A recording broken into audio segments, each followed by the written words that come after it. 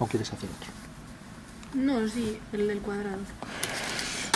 Vale, vamos a ver mm, el inverso de un cuadrado en dos casos distintos. Pues por ejemplo, vamos a hacer un caso aleatorio así, por ejemplo, que corte la figura y que pase por cualquier lado. Bueno, vamos a hacer que pase por el centro para hacerlo así más interesante. Entonces esta línea pasa por el centro y ese cante el cuadrado, ¿vale? Bueno, y aquí en este caso pues vamos a hacer una posición cualquiera del cuadrado, por ejemplo esta. Vamos a hacer que sea tangente aquí. Entonces pasa por aquí. Entonces hay que hacer el inverso de estos dos cuadrados, ¿vale? Entonces fíjate que el inverso de los puntos lo tenemos fácil. O sea, entonces nombramos los puntos A, B, C, D. Entonces el inverso de A unimos, perpendicular, bueno, tangente y perpendicular. Ahí tenemos A', ¿vale? El inverso de B, ¿qué pasa? Si hay muchos puntos nos podemos equivocar con facilidad, pero bueno. Tangente y perpendicular, ahí está, B'. El inverso de C, tangente y perpendicular, esto pasaba por aquí, entonces viene a parar aquí. El de C, tangente y perpendicular, que hay aquí. C'. Y de prima, pues va a salir fuera. Entonces hacemos lo contrario, perpendicular a esta línea y tangente cae aquí. Con lo cual ya tenemos que el inverso del punto D es este. D. Vale. Bueno, ya tenemos los inversos de todos los puntos. Como es algo lioso, este tiene aquí su inverso, este tiene aquí su inverso.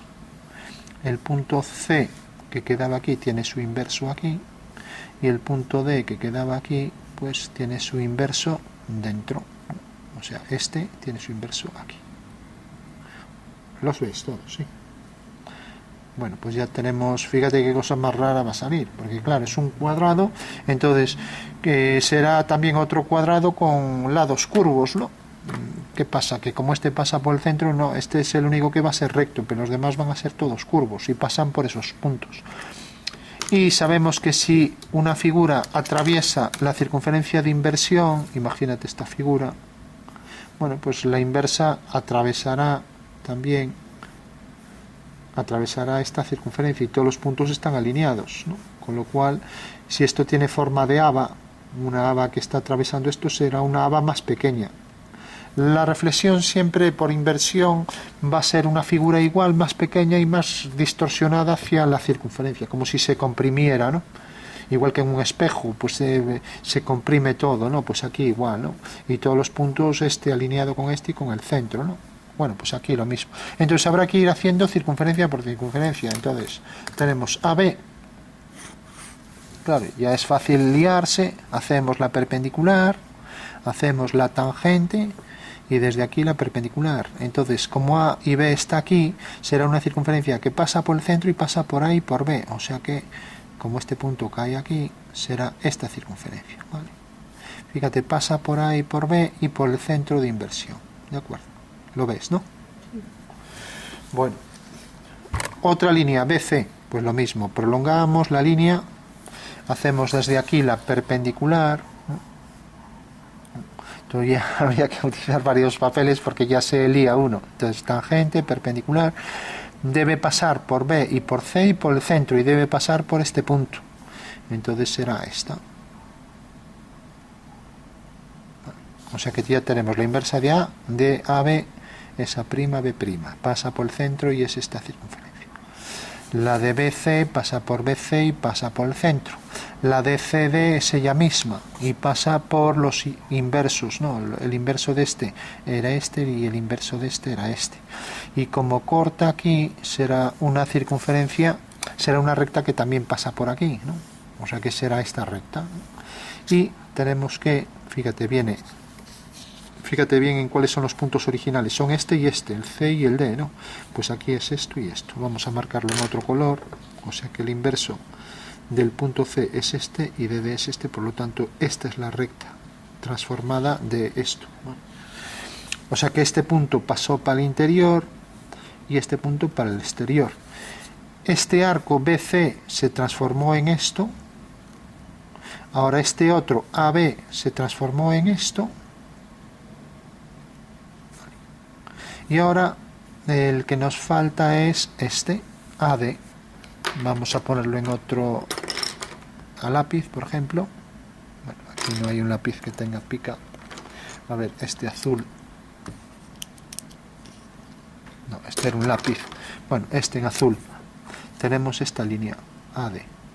Hacemos por aquí la línea y vemos que corta en este punto, corta en este punto y debe pasar, como es una recta, debe ser una circunferencia que pasa por este punto, por este y por este punto. O sea que es esta circunferencia.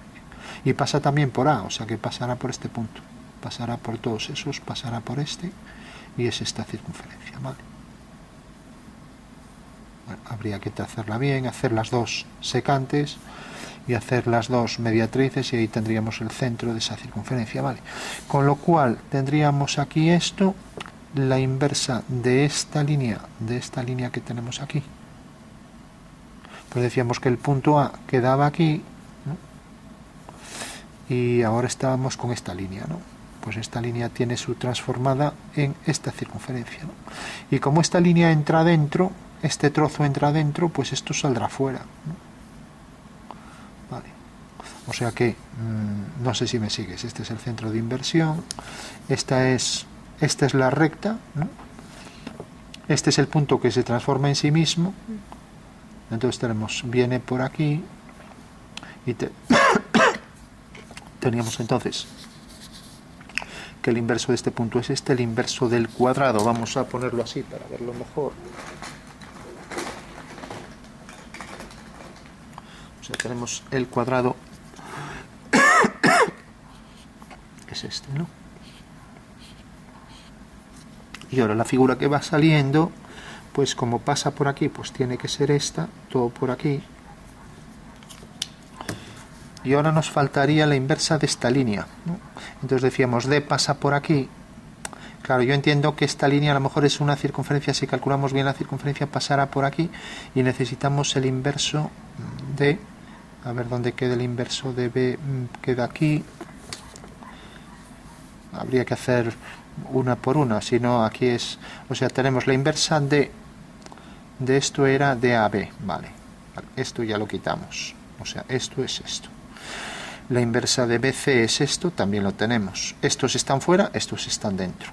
Este está dentro y fuera, pues este también está dentro y fuera. Y entonces nos quedaría la inversa de este que también está dentro y fuera. La inversa de lo que está aquí de lo que está aquí dentro, pues aquí sale fuera. Entonces, bueno, claro, la clave sería que esto sería más pequeño. Ah, haría algo así, pasaría por este punto. Haría algo así. Y pasaría por este punto o sería más grande. No, tiene que pasar por, eh, porque esto pasa por A y por D. Entonces, bueno, pasaría por aquí, por aquí, por este punto.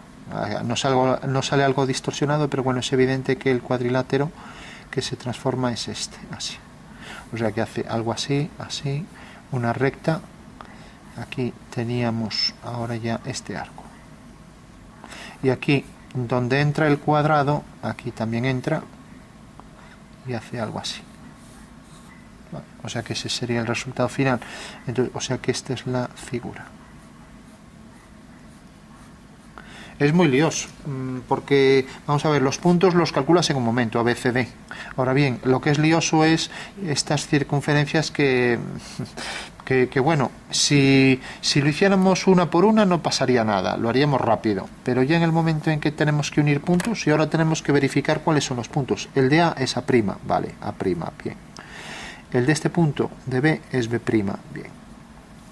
El de este punto, este, es, este lo llamamos C, pues lo teníamos aquí, entonces tenemos C', vale. Este es C, este es D, el de D sale fuera, como está dentro, sale fuera, D'. Y ahora D', D, eh, D, a ver cuál es D, D es este está unido con A, está dentro y está fuera. Entonces fíjate, está fuera y está dentro. Aquí lo tenemos, dentro y fuera. O sea, si esto está dentro y fuera, su inversa también lo está dentro y fuera, ¿no? Bueno, con esto, este es más fácil porque está todo fuera, entonces va a quedar todo dentro, sin más, ¿no? Entonces este ya sale rápido, ¿no? Creo yo, vamos. Vale, este sí, este. Al no meterse dentro es mucho más sencillo. En todo caso hay programas que te hacen esto en el segundo. ¿Trabajas con alguno? GeoGebra, ¿no? Sí, pero en más que nada. Bueno, Bueno, pues en dibujo esto te lo hace un segundo. Entonces, fíjate, esta recta, ¿qué será? Pues es tangente, pasa por aquí, es esta circunferencia. Vamos a hacerlo un poco más preciso para que no pase lo del anterior. Entonces, esta es ya, la inversa de esta recta es esta. Vale, ya tenemos esto. Entonces, si alineamos con este punto y alineamos con este punto, ya tenemos aquí, pues el inverso de este punto es este y de este punto es este. Vale. O sea, de A es A', de B es B', y ahora tenemos esto. Bueno, esto es secante. También podemos hacer aquí, casi hacemos mejor, la circunferencia pasa por este punto, pasa por este punto y pasa por el centro de inversión. ¿no? O sea que será esta.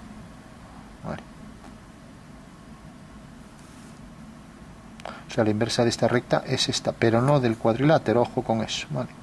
Bueno, sería algo parecido a esto. O sea, la inversa de esta recta de toda esta recta es esta circunferencia, pero a nosotros nos interesa, tenemos este punto, a este punto lo llamamos B, y tenemos hasta ahora AB se transforma en este segmento, ¿no? Fíjate que viene, esta circunferencia es esta, y ahora tenemos esta, este punto es este, vale. Aquí lo que nos interesa es esta recta, y esta recta tiene aquí este segmento, ¿no? Y ahora estábamos con el punto C. Entonces tenemos la línea CB y habíamos hecho esto. Entonces la línea CB nos daba esta circunferencia. Entonces tenemos que calcular C. C viene por aquí y vemos que este punto viene por aquí y corta aquí, ya que la inversa de esta recta es esta circunferencia. O sea que tenemos que C tiene su inverso aquí. C', este punto. Ya tenemos A, B y C. Ya solo nos queda el punto D. Entonces si hacemos la recta CD perpendicular, tangente, perpendicular, entonces será de esta recta, si este es el centro, hemos hecho la unión, aquí la perpendicular, la tangente viene hasta aquí y sería esta circunferencia. Debe pasar también por B, no, BC es esto, bueno, a ver ahora si no nos liamos para la hora de seleccionar. Entonces tenemos la línea AD es esta. Vamos a ver la línea D que no la calculamos. Entonces hacemos desde aquí la perpendicular, la tangente y la perpendicular. La inversa es esta. Debe pasar por ahí por D. Y D todavía no lo teníamos. Bueno, en todo caso AD viene por aquí, tangente, por aquí. Debe pasar por A y debe pasar por el centro. ¿no? Y nada más porque pasa por esto o sea que es esta circunferencia y ahora D viene a parar aquí o sea que queda aquí bueno, pues tenemos ahí ya el cuadrilátero que es este tiene esta forma así ¿no? porque esto se puede decir que casi está en una diagonal, ¿no? Quedará algo más deformado de un lado que del otro. Pero fíjate que todos los puntos deben estar en concordancia. Por ejemplo, este es el punto D, que queda aquí, entonces AD es esta circunferencia inversa de esta. No, perdón, AD inversa de esta, ¿no? tal y como hicimos. ¿no? Entonces, lo ideal sería ir haciendo colores. Por ejemplo, aquí poner un color rojo y decir, bueno, pues esta es la inversa de esa recta. Por lo tanto, ya tenemos este trozo, ya que es desde A hasta D, ¿no? de aquí a aquí. Luego tenemos, esta es la inversa de esta. Entonces ya tenemos que, como es de A a B, y alineamos los dos puntos, pues era este trozo. Vale, ahora tenemos AB y ahora BC. BC es esta. Entonces pasa por este punto y este. Es este trozo. Y por último nos queda la unión de B, no, la unión de C y de D. Es esta. Entonces tangente perpendicular es esta. Es este trozo. Con lo cual sale algo parecido a esto. ¿vale?